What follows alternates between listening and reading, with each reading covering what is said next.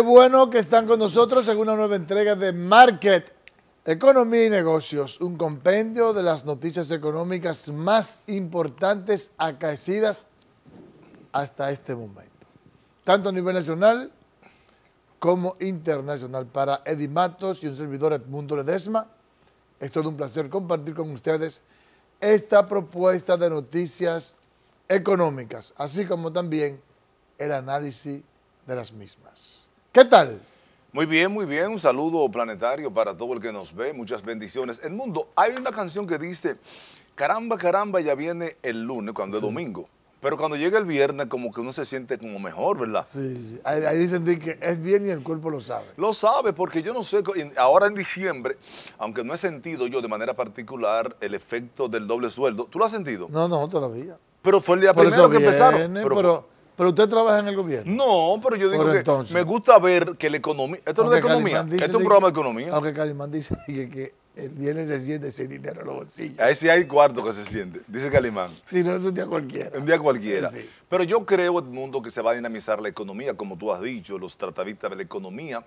Yo pienso que a partir del día 10 ya que la gente empiece a salir, y yo espero en Dios de que este sea, al final, que sea el mejor año de todos los últimos años en República Dominicana en términos económicos con los negocios de dinamicen, porque han quebrado muchos negocios en el mundo. Así va a ser, pero tú sabes que realmente el doble sueldo, el doble sueldo que realmente activa la economía es el del sector privado, porque ahí hay más empleados. Sí. Entonces todavía no ha llegado. Entonces hay que pensar de que a partir del día 15 es que realmente se empiezan a ver los movimientos económicos el cambio.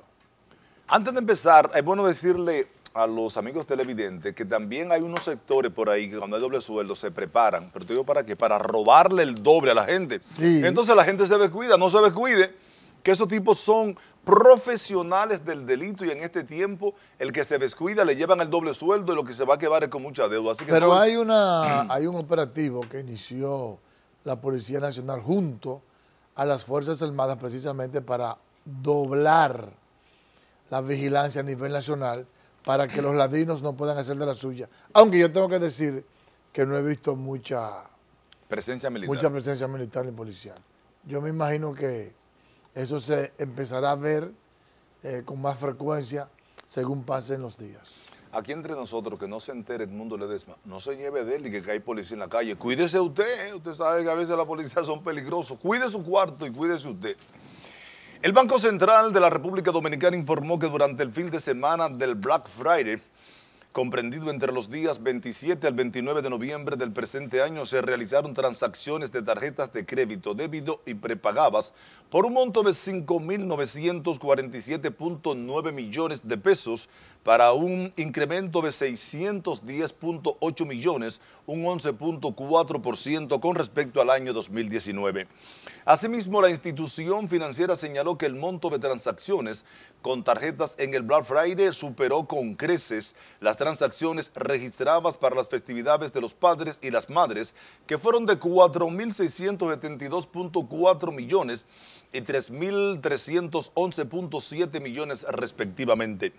El organismo rector de la política monetaria añade que este significativo repunte en las transacciones con tarjetas en el Black Friday del presente año es un indicativo de la revitalización del consumo privado y consecuentemente de la actividad comercial, a pesar de que tanto en el entorno externo como en el doméstico persiste la crisis sanitaria provocada por la pandemia del COVID-19. Buena noticia. Mira, yo te voy a decir algo.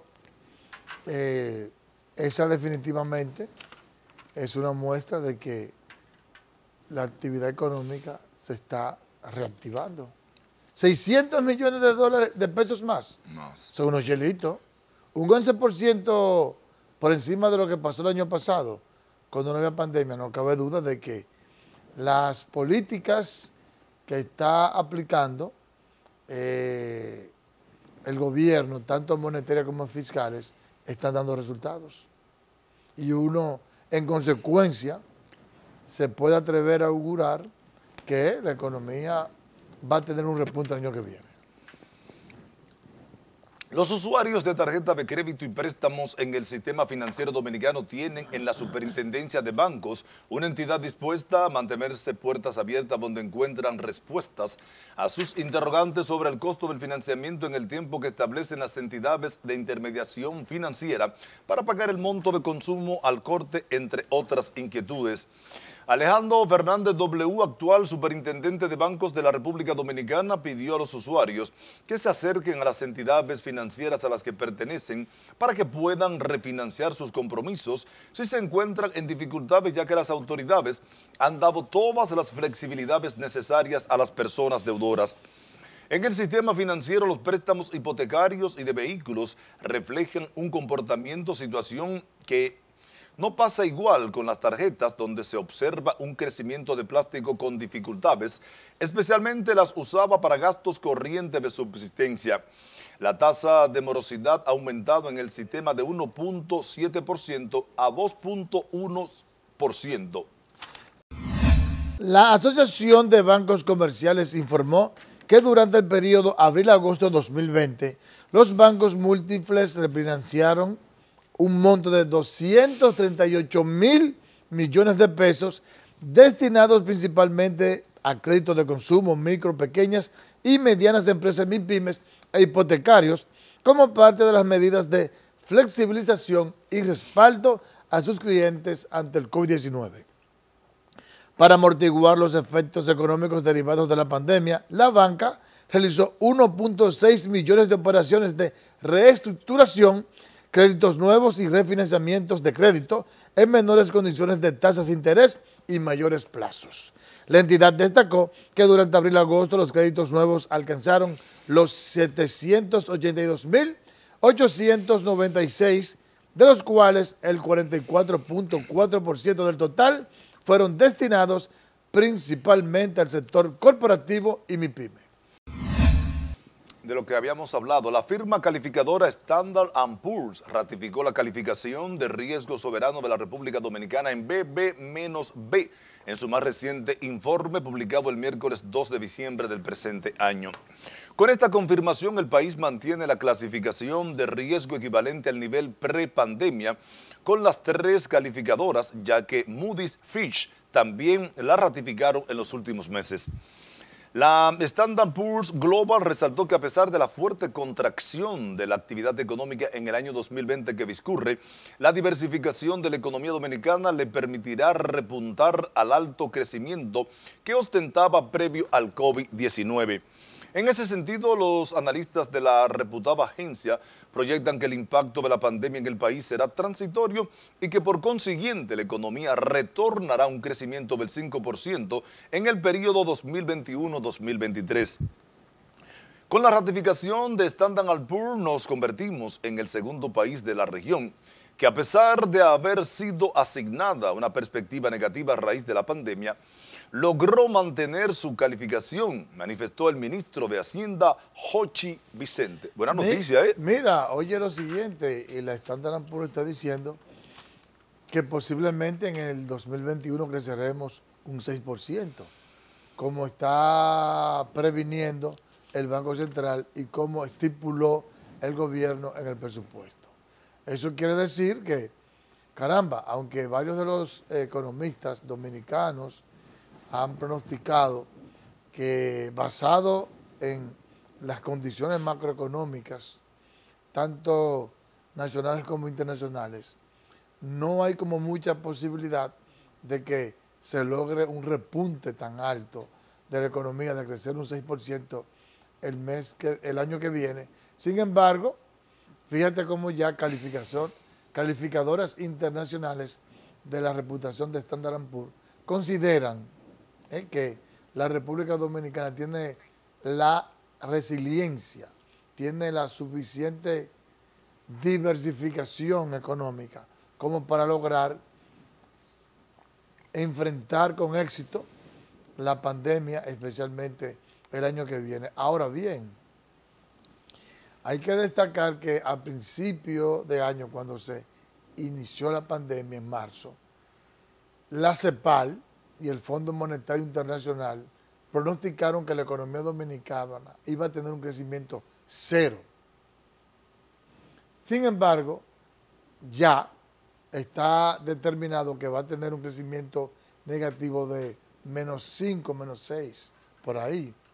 Eso quiere decir que eh, fallaron los pronósticos de los organismos internacionales. No obstante, yo mantengo la esperanza de que ciertamente todos los economistas dominicanos, incluyéndome yo que soy eh, parte de los que ha pensado que no existen como las condiciones económicas como para pensar que vamos a tener un crecimiento tan elevado. No obstante, siempre la economía dominicana ha crecido más que lo que han pronosticado los organismos internacionales e incluso las mismas autoridades dominicanas. Yo espero que el año que viene también sea un año en el cual la actividad económica nacional sorprenda al mundo. Muchos economistas, especialmente de la oposición al gobierno, dicen que no están tan optimistas pensando que la economía, incluso que ni siquiera pueda crecer un 4% del PIB el año que viene, fruto de la pandemia y la catástrofe económica a nivel internacional. Pero yo digo, Edmundo, que uno de los éxitos más grandes de todos los gobiernos del Partido de la Liberación Dominicana, que hay que reconocer que duraron 20 años en el poder y la economía siempre creció por encima casi del índice de todos los países de América Latina, pero yo digo, y lo hemos dicho tú y yo aquí, yo lo reitero, que no solamente fue por la visión de los presidentes del PLD, Danilo Medina y Leonel Fernández, sino también a esa sincronización entre ellos, el Banco Central y todo el equipo económico. Prácticamente, digo, no tienen todo el equipo económico, pero el hecho de que... Y la actitud empresarial. Empresarial, sí. El hecho de que, el, de que el, el, gobernador del Banco Central se haya quedado, un hombre con tanta pericia, con tan buen manejo que ha tenido durante toda su vida, yo creo que eso garantiza de que si el Banco Central, como esa información que leímos, dice que puede crecer, no solamente en el año 21, el año que viene, sino en el 22, hasta un 6%, yo lo creo, porque hay demasiados indicadores. Naturalmente, que como el mundo ha dicho, son cuatro pilares en lo que descansa la economía de República Dominicana y han sido afectados de manera contundente, especialmente el, el turismo, que es la industria que arrastra muchísimos sectores de la economía. Pero la economía va bien y yo tengo la confianza, no voy a decir la seguridad porque en economía no hay seguridad, pero tengo la confianza de que de verdad el año que viene la, la economía dominicana se pueda recuperar de manera definitiva. Tengo esa, esa, como esa fe. Y déjame decirte algo si nosotros crecemos un 4%, bueno, oh, hay que tremendo, aplaudir, claro. Es tremendo. Porque también, fíjate que ayer hablábamos del tema del turismo. Pero ayer mismo también presentamos un reportaje en el cual la saliente presidenta de Azonadores y el ministro de Turismo aseguran que la República Dominicana está en condiciones de empezar a recibir todos los turistas que quieran venir, sin que haya ningún problema sanitario. Eh, por supuesto, ayer dije que una cosa es que nosotros creemos las condiciones de seguridad y otra cosa es la actitud de la gente, por la razón de que están desempleados o van a empezar a trabajar nuevamente o hay un pánico internacional a pesar de que va a surgir eh, la vacuna ya. La vacuna ya dentro de una semana supuestamente empiezan a vacunarse a nivel mundial. Pero, como quiera, ese espacio de gente que se quedó sin trabajar, de gente que empezaría a trabajar, conseguiría trabajo dentro de dos o tres meses, y el temor a infectarse, todo eso podría dificultar que llegue la cantidad de turistas deseadas a la República Dominicana. No obstante, ponemos un voto de fe en que las autoridades harán todo lo necesario, especialmente para promover el turismo y que llegue una cantidad adecuada de extranjeros. Vamos a ver a nuestra compañera, nuestra analista, Claudín Collado, experta en economía y marketing. Saludos, amables televidentes, saludos el mundo Ledesma. Espero que hayan tenido una excelente semana. Vamos a continuar con un tema que habíamos iniciado en las entregas anteriores relacionadas al análisis de escenarios, a los indicadores económicos, eh, cómo va fluyendo nuestra economía y cómo eso nos puede impactar. en nuestro negocio o en nuestra vida personal. Eh, hoy tenemos un tema em, derivado de algunas inquietudes. Em, una pregunta que nos hacemos Si pierdo el ingreso o me reduce el salario, ¿cómo manejo mis deudas? ¿Cómo hago para manejar mis deudas? Em, es una inquietud que tenemos todos porque de alguna manera todos hemos adquirido algún préstamo, ya sea para comprar carro, para gastos de salud, para adquirir una casa, eh, para consumo personal o para poner un negocio. Y en época de incertidumbre debemos de tener muy claros los caminos, las oportunidades que tenemos para eh, tomar decisiones a tiempo y gestionar en nuestro endeudamiento. Eh, si bien es cierto que si perdemos el ingreso o, se nos eh, reduce considerablemente, eso nos causa un inconveniente en el manejo del presupuesto. El presupuesto que tenemos es un presupuesto eh, limitado por los ingresos y los gastos generalmente pues son partidas fijas que debemos de enfrentar todos los meses. Ahora, ¿cuáles partidas no puedo dejar de pagar? Ejemplo, no podemos dejar de comer, no podemos dejar de pagar una renta, no podemos dejar de eh, comprar eh, medicinas. Hay gastos de la familia que no podemos dejarlos de hacer. Ante una reducción de ingresos, estos gastos tienen prioridad. Entonces, otra prioridad eh, sería reducir las deudas. Antes de pensar en una consolidación de préstamos, eh, pondera a ver cómo están los niveles de deudas, qué tipo de deudas son, cuál es la deuda más cara y trata de hacer un plan para reducir aquellas deudas que son más caras. Si en todo caso no alcanza el ingreso, entonces sí pudieras pensar en hacer una consolidación de deudas. Sin embargo, este tipo de consolidación siempre va a estar en dependencia del ingreso que recibas ninguna institución va a aprobar una consolidación de deuda si la persona no tiene un aval de un ingreso que esté recibiendo. Luego, la mejor opción entonces sería tratar de buscar ese ingreso que se ha perdido. ¿Dónde lo podemos conseguir? Vamos entonces a explorar qué oportunidades tenemos en la economía, qué, pasa, eh, qué, qué está cambiando busca una segunda oportunidad, busca un segundo ingreso, un segundo negocio. Si los ingresos se han reducido del salario que tenemos o del negocio principal, busca un segundo negocio, una segunda fuente de ingresos que te permita llegar al equilibrio de esos gastos que son fijos y de esas deudas que te has comprometido a pagar. En todo caso, ¿qué hago para reducir eh, la deuda y qué hago para los ingresos con los gastos. Bueno, si no consigues ese segundo, esa segunda fuente de ingreso, entonces se explora cuáles actividades de la economía están creciendo, porque no todo es negativo, no todo eh, está bajando. De negocios, por ejemplo, eh, que está funcionándole a las personas. Abre una tienda virtual por redes sociales, Instagram, Facebook, Twitter, eh, todas las redes sociales están ahora mismo siendo canales de venta.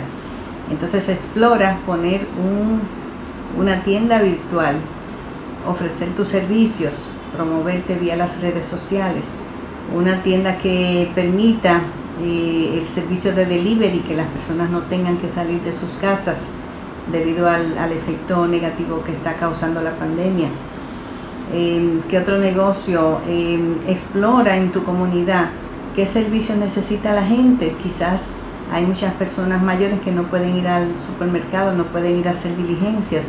Entonces puedes ofrecer un servicio de hacer diligencias, gestiones, supermercado, eh, para esas personas que no, no, pueden salir a la calle.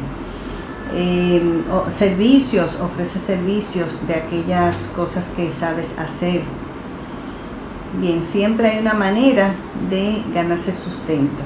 Nunca debemos dejar eh, todo a que, a que si, si consigo el empleo, no lo consigo, no. Debemos de generar nuestro ingreso debemos seguir adelante, esto pasará en algún momento y eh, siempre la manera de poder por lo menos el ingreso mínimo que necesitamos para poder cubrir esas partidas de gastos. Entonces, la manera óptima de reducir deuda es tratar de nivelar los ingresos y que haya un excedente para abono a deudas. Esa es, esa es la clave. Trata de generar excedentes en el ingreso para poder abonar a la deuda. No permitas que los intereses te suban de manera desmedida el valor de la deuda. Trata de analizar y, ver la composición, qué deuda es más cara, que debo de saldar rápido y, siempre equilíbralo con los ingresos. Los ingresos es, la clave para poder gestionar nuestras deudas. Sin ingresos no hay pago de deuda posible. Sin ingresos tampoco hay posibilidad de conseguir una buena consolidación de, eh, de una deuda. De manera que protege los ingresos, cuídalos, busca alternativas, aprovecha oportunidades. Bueno, pues eh, nos veremos entonces en una próxima entrega. Gracias, Claudín Collado, ese análisis profundo, como siempre. Me voy directamente con Indiana Ortega, porque quiero que el cerebro se pueda ampliar con el diccionario económico. La balanza de pagos es un indicador macroeconómico que proporciona información sobre la situación económica del país de una manera general, es decir, permite conocer todos los ingresos que recibe un país procedente del resto del mundo. La misma se subdivide en tres partes, las cuentas corrientes, las cuentas de capital y la cuenta financiera. La cuenta corriente registra las transacciones de bienes, servicios e inversiones y transferencias entre locales y extranjeros. La cuenta de capital incluye la transferencia capital desde y hacia el país y la cuenta financiera registra las operaciones de carácter financiero, las cuales son principalmente la contrapartida de las transacciones de las cuentas corrientes y de capital. Para Market, Economía y Negocios, Indiana Ortega.